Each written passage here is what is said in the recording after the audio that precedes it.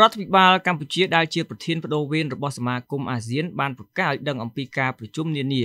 ពាក់ព័ន្ធក្នុងក្របខ័ណ្ឌអាស៊ានដែលមានរយៈពេលជិតមួយសប្តាហ៍ក្នុងនោះក៏មានកិច្ចប្រជុំកំពូលដែលនឹងមានការចូលរួមពីរដ្ឋមន្ត្រីការបរទេសរបស់ប្រទេសមហាអំណាចមួយចំនួនផងដែរនៅឆ្នាំ2022នេះកម្ពុជាគឺជាប្រធានអាស៊ានបដូវវេនហើយប្រទេសក្នុងតំបន់អាស៊ីអាគ្នេយ៍មួយនេះនឹងធ្វើជាម្ចាស់ផ្ទះរៀបចំកិច្ចប្រជុំរដ្ឋមន្ត្រីការបរទេសអាស៊ានកិច្ចប្រជុំរដ្ឋមន្ត្រីការបរទេសអាស៊ានលើកទី 55និងកិច្ចប្រជុំផ្សេងផ្សេងនឹងប្រព្រឹត្តទៅ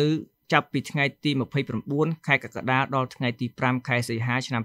2022នៅទីក្រុងភ្នំពេញនេះបើតាមសេចក្តីប្រកាសព័ត៌មានរបស់ក្រសួងការបរទេសកម្ពុជាចេញផ្សាយកាលពីថ្ងៃប្រហ័សបើតាមក្រសួងការបរទេសកម្ពុជាកិច្ចប្រជុំជាច្រើនដែលនឹងធ្វើឡើងអំឡុងពេលមានការរៀបចំកិច្ចប្រជុំរដ្ឋមន្ត្រីការបរទេសអាស៊ាននាពេលខាងមុខនោះរួមមានកិច្ចប្រជុំគណៈកម្មការតំបន់អាស៊ីអាគ្នេយ៍គ្មានអាវុធនុយក្លេអ៊ែរ ជំនួបរវាងរដ្ឋមន្ត្រីការបរទេសអាស៊ានជាមួយតំណាងគណៈកម្មការអន្តររដ្ឋាភិបាលអាស៊ាន ស្ដីពីសិទ្ធិមនុស្សកិច្ចប្រជុំរដ្ឋមន្ត្រីការបរទេសអាស៊ានបូក3លើកទី23និងកិច្ចប្រជុំជាមួយដៃគូអាស៊ានផ្សេងទៀតរដ្ឋមន្ត្រីការបរទេសរុស្ស៊ីនិងចិនបានបញ្ជាក់ការចូលរួមរបស់ពួកគេស្ថានទូតអាមេរិកប្រចាំប្រទេសកម្ពុជាមិនទាន់អាចបញ្ជាក់អំពីវត្តមានរបស់រដ្ឋមន្ត្រីការបរទេសអាមេរិកចូលរួមនៅឡើយទេគិតត្រឹមថ្ងៃសុក្រនេះសេចក្តីប្រកាសរបស់ក្រសួងការបរទេសកម្ពុជាឲ្យដឹងទៀតថាលោកនាយរដ្ឋមន្ត្រីហ៊ុនសែននឹងធ្វើជាអធិបតី ក្នុងពិធីបើកជាផ្លូវការនៃកិច្ចប្រជុំរដ្ឋមន្ត្រីការបរទេសអាស៊ានលើកទី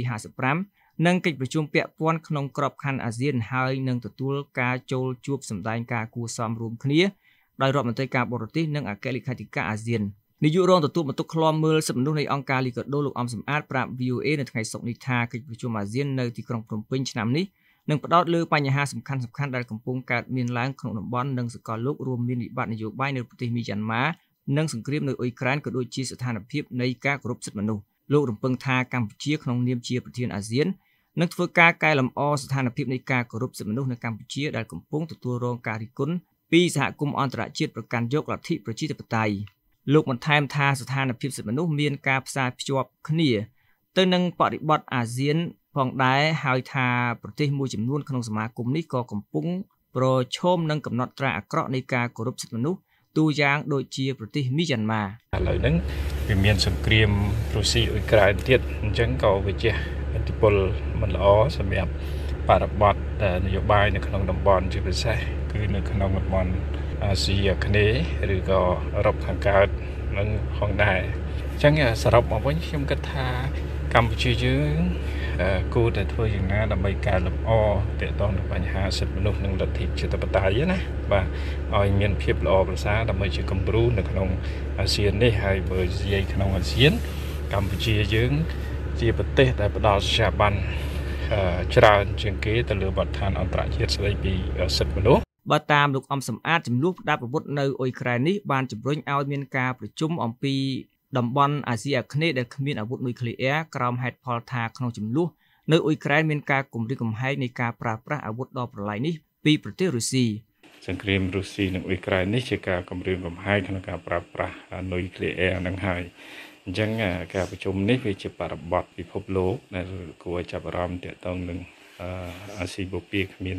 នុយក្លេអ៊ែរនេះ ក្នុងនាមប្រទេសកម្ពុជាដែលធ្វើជាម្ចាស់ផ្ទះកិច្ចប្រជុំផ្សេងផ្សេងក្នុងក្របខ័ណ្ឌអាស៊ានកម្ពុជាកំពុងរងចាំស្វាគមន៍អគ្គលេខាធិការអាស៊ានរដ្ឋមន្ត្រីការបរទេសតំណាងពីប្រទេសចំនួន37ដើម្បីចូលរួមការប្រជុំរដ្ឋមន្ត្រីការបរទេសអាស៊ានលើកទី55និងការប្រជុំពាក់ព័ន្ធដទៃទៀតនេះបើតាមការបញ្ជាក់របស់ក្រសួងការបរទេសនិងសហប្រតិការអន្តរជាតិកម្ពុជា តេតិននឹងវត្តមានរបស់តំណាងពីប្រទេសភូមាអ្នកនាំពាក្យក្រសួងការបរទេសលោកជុំសុនរីប្រាប់ VOA តាមប្រព័ន្ធទំនាក់ទំនង Telegram ជាភាសាអង់គ្លេសនិងត្រូវប្រែសម្រួលជាខេមរៈភាសាតាមអត្ថន័យដើមថា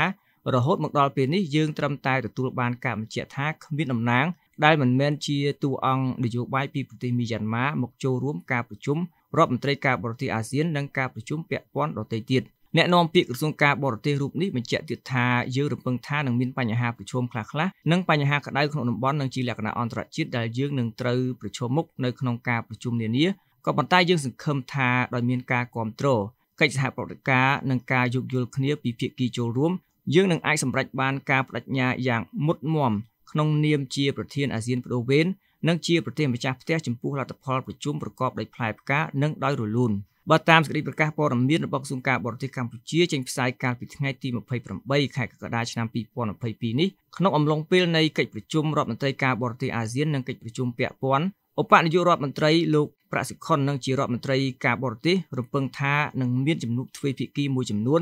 ជាមួយសមាភិកីបរទេសរបស់លោករាយការណ៍ពីរាជធានីភ្នំពេញខ្ញុំហុលរស្មី VOA